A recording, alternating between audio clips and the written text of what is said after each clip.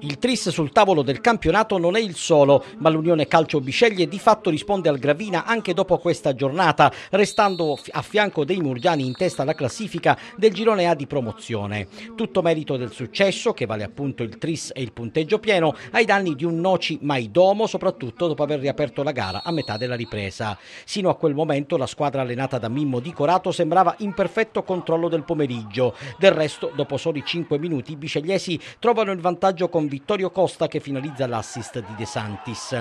Gara in discesa e Unione Calcio che il raddoppio lo potrebbe trovare con Amedeo Di Pinto se non fosse fermato con le maniere forti al limite dell'area di rigore. Allora ci pensa De Santis con il calcio piazzato a vendicare il compagno di squadra e siglare il 2-0.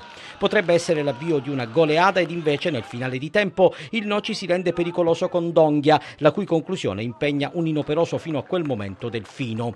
Sono segnali che l'Unione Calcio non sembra cogliere e che invece andrebbero letti con attenzione, visto che al tredicesimo della ripresa il fallo di Papagno su Recchia consegna a quest'ultimo l'opportunità dal dischetto per riaprire la gara. Delfino però è in giornata e conserva il risultato, che potrebbe essere arrotondato in favore dei bicegliesi dal diagonale di L'Annunziata ed invece viene rimesso in discussione dalla conclusione vincente di Donghia.